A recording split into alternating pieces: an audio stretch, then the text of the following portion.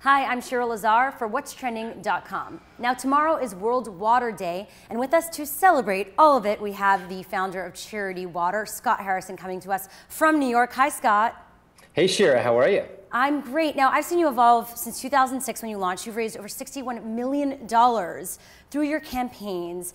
How are you trying to get the word, word out on World Water Day? Uh, well, tomorrow we're going back to the basics. You know, one of the most effective ways for people to engage and bring clean drinking water to the almost 800 million people in the world without it is to use their birthday, uh, to donate their birthday, and instead of uh, throwing the big party or asking for a bunch of gifts that you know they probably don't really need, uh, it's to ask for their age in dollars and start a fundraising campaign.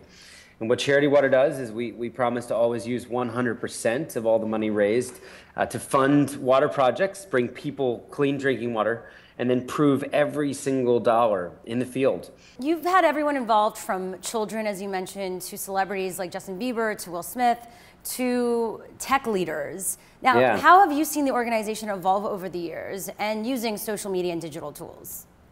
Well, we, I mean, we're really focused on scale. I mean, we have a massive problem. So we're, we're running Charity Water very much like a tech company, um, trying to, to help 100 million people uh, get access to clean water by the end of the decade.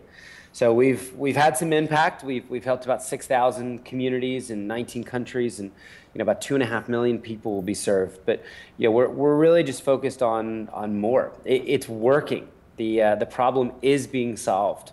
You know, we're seeing lives and communities absolutely transformed. We're seeing lives being saved through access to clean water. Um, social media has just been a great way for us to tell our story. You know, it's a simple story. People need clean water. We, we've got solutions. We use 100% of the money, and then we'll prove, you know, we'll prove those solutions out.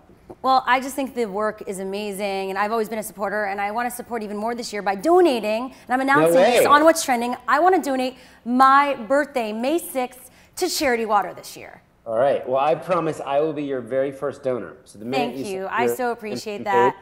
I, it's been amazing to watch your journey and, and, see it all unfold and to now be part of it. So all of you, if you want to donate your birthday to Charity Water, just go to charitywater.org slash birthdays and celebrate World Water Day today.